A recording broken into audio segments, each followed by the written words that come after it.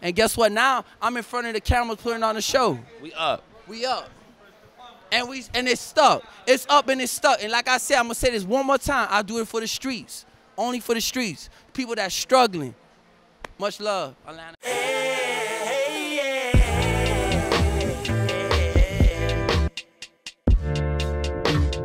Julien Virgin. Ladies and gentlemen, Louis Brewington is now officially dropping jewels with Julien Virgin following his first round rear naked choke victory over Wesley Sullivan here at NFC Fight Night 147. Chaos ensued inside, outside the cage, but let me know how'd that fight go, man? How you feeling? Man, Julien, I was in his head the whole time. I knew he lost that round, man. The first round, I told him I'm gonna come out, I'm gonna break your jaw. As soon as I told him that, he looked at me like he wanna dap me up. I ain't trying to dap you up, my boy. Like, I'm really like that. I'm about to break your jaw, then we can shake hands afterwards. So like, that's what I did, man. First round, got in his head. Cause listen, it's 90% mental, the rest is skills. Facts. I tell, I tell people that all the time. If you don't got the mental game, I don't care how much skills you got over me. I'm gonna beat you mentally. As soon as I get you in your head, I'm knocking you out. You you got into his head mentally at weigh-ins last night. What was said? You were in his face, elbows and all. There was some headbutts exchanged. What was said at weigh-ins yesterday? So let me tell you how crazy this was, man. So yesterday, right? So we had the weigh-ins. I'm drinking my Pedialyte. I'm chilling with my guys. I'm chilling with my people, and they were like, "Yo, yo, that's your opponent." So I'm like, "Oh, what's up?" I'm being humble now. Everybody know I'm being a dick. I be, I'm known for being a dick. So like, I came to the guy. I'm like, "Yo, what's up? My name Louis." He was like, "Oh, I know who you is. I hope you ready tomorrow." I'm like, "Oh, oh, you on that type of energy?" Okay, so now I gotta get gangster. I say less. I gotta put that switch on. So I turn that switch on. The dude was coming at me. He was like, "Yo, I'm gonna break your jaw tomorrow, boy." Hold on, you just called me a boy. Do you know what that word means back in the days, my boy? It's slavery days. You called me a boy. He kept saying it, boy, boy, boy, boy. I'm like, bro, you might as well call me a nigga.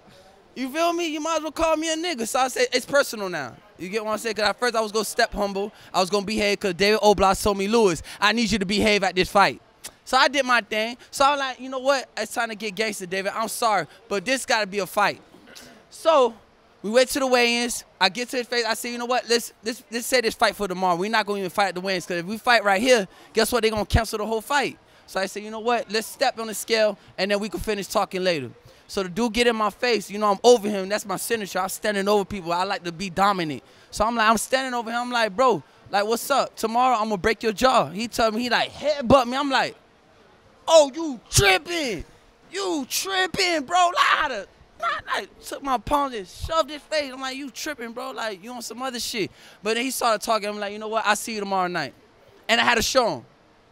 So we go to tonight.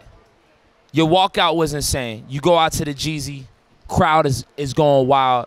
You bought the whole hood out, Lewis. The whole hood. You bought the whole hood out. And, and Julia, I'm not even from Atlanta. The whole Atlanta done came out. Some real steppers behind me. Some real steppers. Some real cer- uh, certified steppers. You feel me? A lot of people say they steppers. They ain't really steppers, man. These guys are real steppers. But they humble with it, though. They humble with it. Wesley seemed like he bought his whole crowd from South Carolina, from Tennessee as well. He had a crowd. There was animosity. There was there's people who loved you. There's people that hated you in the crowd. You walk in.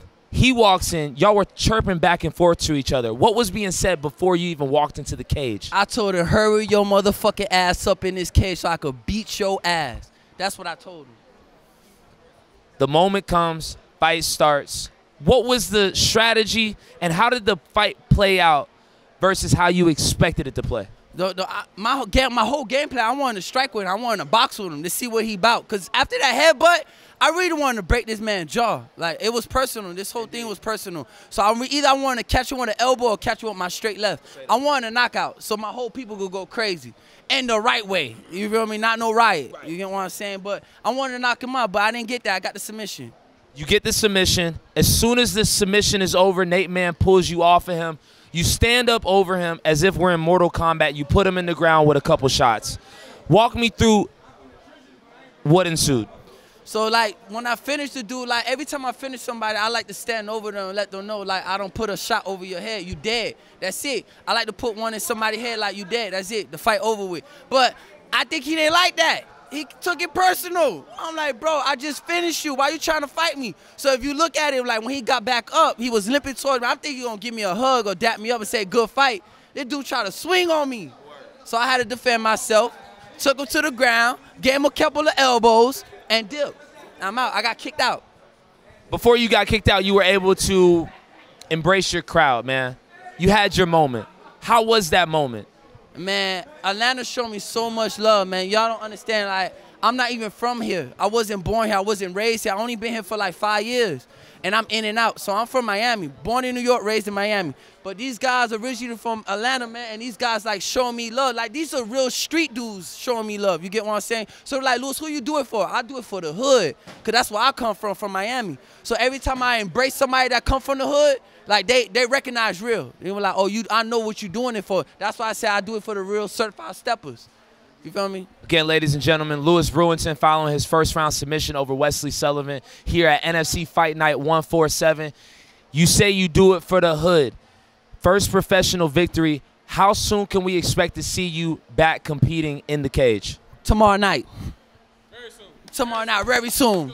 Tomorrow night we could do this. Man, listen, every week I could fight if I have to. You get what I'm saying? I've been, I'm good. I had a good cramp. Shout out to Manu, Team Manu. Manu got me on my victories. I ain't lose a fight with Manu in four years, man. Four years. I went from American top team in Atlanta from Tubbs. Then I went to a Manu. And guess what? I didn't lose a fight ever since. Got my ground game right, got my striking game right. I was weak in my wrestling, weak in my jiu-jitsu. But guess what? I lost my first fight to a wrestler, and I said, you know what? I got to improve. I got to get back in the gym. I got to keep grinding. And guess what? Now, everybody uh, underestimate my, my ground game. They're like, oh, Louis a striker. But they don't know I know how to grapple.